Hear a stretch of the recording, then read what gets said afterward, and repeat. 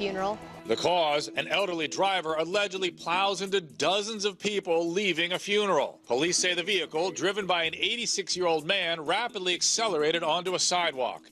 Nine were injured, including a five year old boy. Tonight, two of those victims remain in serious condition. Back with my co-host Samantha Schacher and the rest of a Behavior Bureau, Jenny Casey and Wendy, and we are discussing a man who plowed his car into a crowd at a funeral.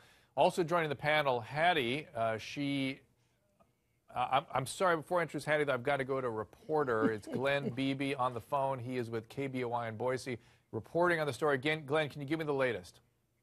Well, what we know right now is that two people are still hospitalized. Of those, one was a woman. She has been upgraded to fair condition tonight, but the young five year old boy, he still remains in serious condition. Mm. And what we're hearing from witnesses that were on the scene is that his legs were run over by the car. As we said, he still remains in serious condition tonight.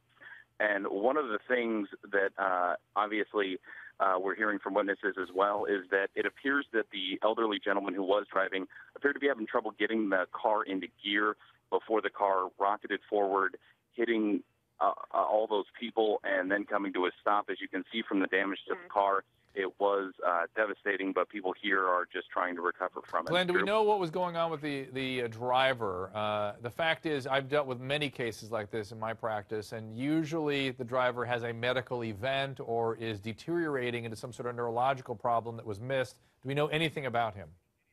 Uh, well, I was actually on scene when he got out of the car. He got out under his own power. He did have a cane, but it, he didn't appear to suffer from a stroke or a heart attack or anything like that. Right now, both investigators and family members who are on scene say this just appears to be a really tragic accident. Joining us is, thank you, Glenn. Joining us is Hattie. As I said, she is 77 years old herself, and she's about to get her very first driver's license. Congratulations, Hattie. Now, that accident occurred in Idaho, where the state law says drivers age 62 and older must renew their license in person every four years. In New York, there's no such requirement. Do you think there should be more careful monitoring of the elderly uh, uh by the DMV or by licensing organizations, Hattie? I think there should be more careful, careful monitoring of every age because one of the things you hear the word elderly, and right away a whole bunch of expectations show up and they're negative. So it could have been a young person that this happened to. So that when you're driving a vehicle, anyone who has to be behind that wheel should have some testing of some sort other than the simplistic ones we have now, because everything is more complicated and we got to find out what constitutes safety in driving and who's capable of doing this. But to charge someone because they're elderly if we don't change the concept of elderly, we're going to think that the the old people are going to be doing everything wrong, killers yet. Yeah, I, I, I agree with Hattie Casey that as a physician, I'm often called upon to make these assessments, and the DMV reserves their final say on all this, and sometimes I'm very frustrated with their assessments.